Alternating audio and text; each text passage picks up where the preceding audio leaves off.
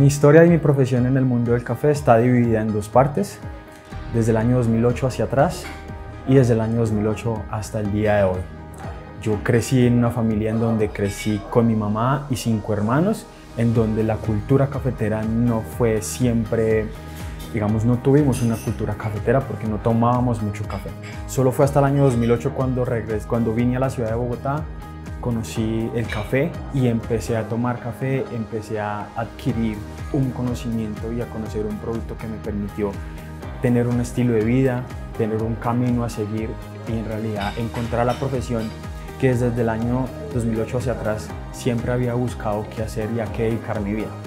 Encontré el café y me di cuenta que me podía dedicar al café, que podía ser profesional y que podía lograr alcanzar muchas cosas grandes solamente si eh, me dedicaba al café desde una forma muy profesional. Entonces era, era como, como esas, esas ganas de querer salir adelante y encontrar en realidad algo muy rápido que hacer, que no importara qué fuera, pero que en su momento no me estaba, yo no me daba cuenta de que lo que estaba haciendo era formar un carácter y formar un camino que me iba a servir para, para más adelante adquirir esta profesión tener la dedicación y la disciplina que, que logré desarrollar en, en, mi infancia y que aún sigo desarrollando en mi profesión. Pero de mi mamá heredé, creo que la, persistencia, la responsabilidad, la dedicación, la disciplina y, y, lo más importante que ella me, me, ha enseñado en la vida es que todo en la vida tiene un precio y que para lograr los objetivos o para tener lo que se quiere en la vida hay que, hay que trabajar y hay que ser dedicado y también que hay que ser un buen ser humano y servir a los demás.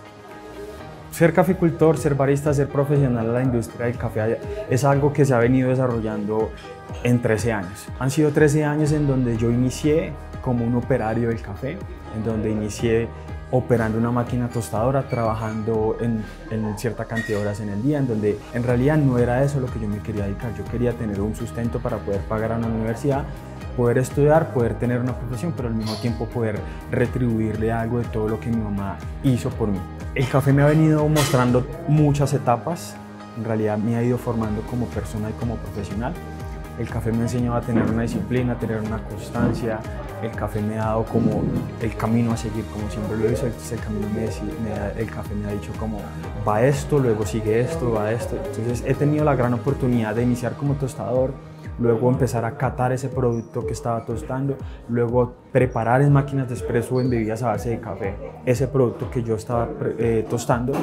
Y ahora pues tengo la oportunidad de decir que estamos incursionando en la producción del café. No fue que yo dijera, es que yo voy a llegar a ser campeón mundial, yo voy a llegar a ser productor de café, yo voy a llegar a viajar o hacer muchas cosas, no el café me ha ido llevando de una forma en donde yo solamente le hago caso y sigo como todas las instrucciones que él me va dando. Entonces es como si me dijera, bueno, vamos a iniciar tostando, ahorita vamos a iniciar catando, ahorita vamos a, ir a, a Oxford a estudiar inglés, pero también a, aprender del café. Luego vamos a ir a Australia a estudiar de café y aprender más inglés.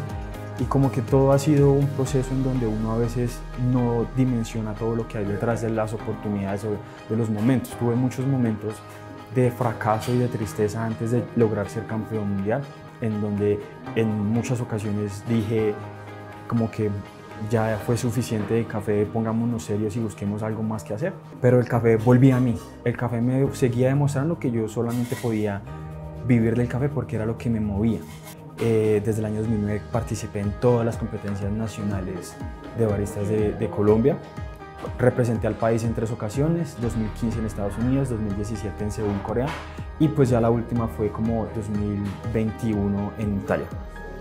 Entonces, y aún, digamos, aún siendo campeón mundial, yo siento que el café me sigue brindando oportunidades de tener algo que hacer y a, y, a qué dedicarme en torno al café. Entonces es muy bonito ver cómo algo que empezó, que llegó a mi vida accidentalmente, me sigue dando un sustento, me sigue dando en realidad cosas por qué agradecerle al café.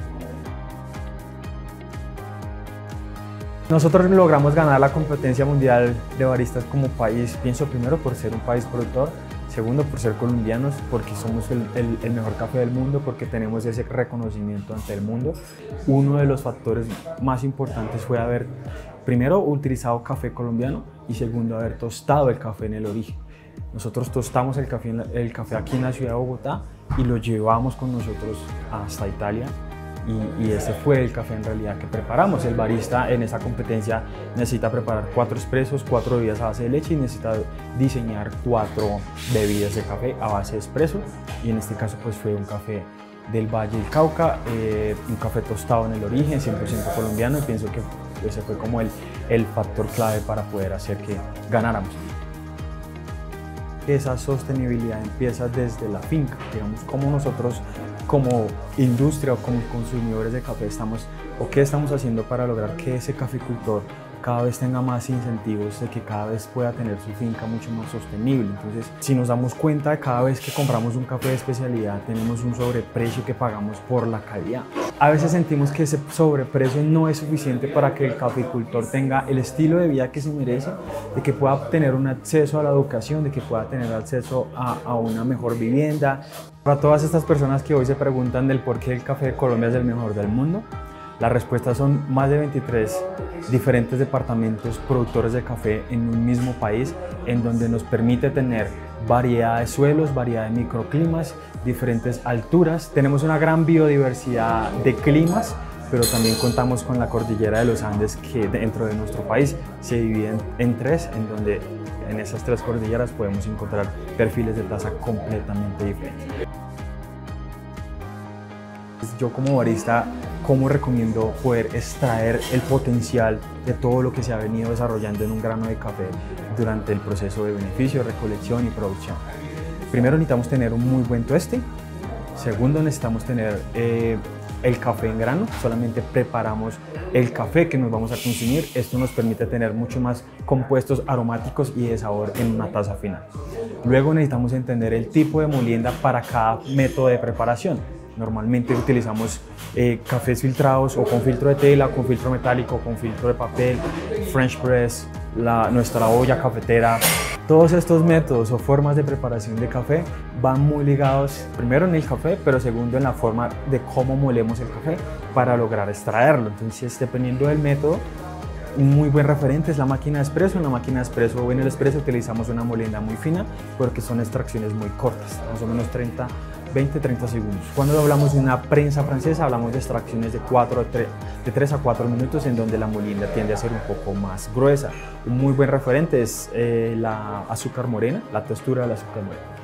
¿Esto de qué se debe? Que el café y el agua van a tener mucho más tiempo de exposición para poder extraer el sabor. Entonces, importante tener muy claro qué tipo de café, el tipo de molienda, el método en el que lo vamos a preparar y importante también conocer que el agua la bebida de café es más del 97% es agua, entonces necesitamos utilizar un agua de muy buena calidad, agua filtrada, agua de botella o agua, agua lo más limpia posible para poder preparar una bebida de café y poder complementar todo lo que ya el café trae consigo mismo, ver, hacerlo que se, hacer que se refleje en una taza de café. Entonces, eh, no es tan fácil como, como parece, eso necesita de que toda la cadena de ese café haya estado muy comprometida para que usted como consumidor final pueda en realidad disfrutar del trabajo de muchas personas que han hecho un muy buen trabajo para lograr que hoy usted se esté tomando una muy buena taza de café.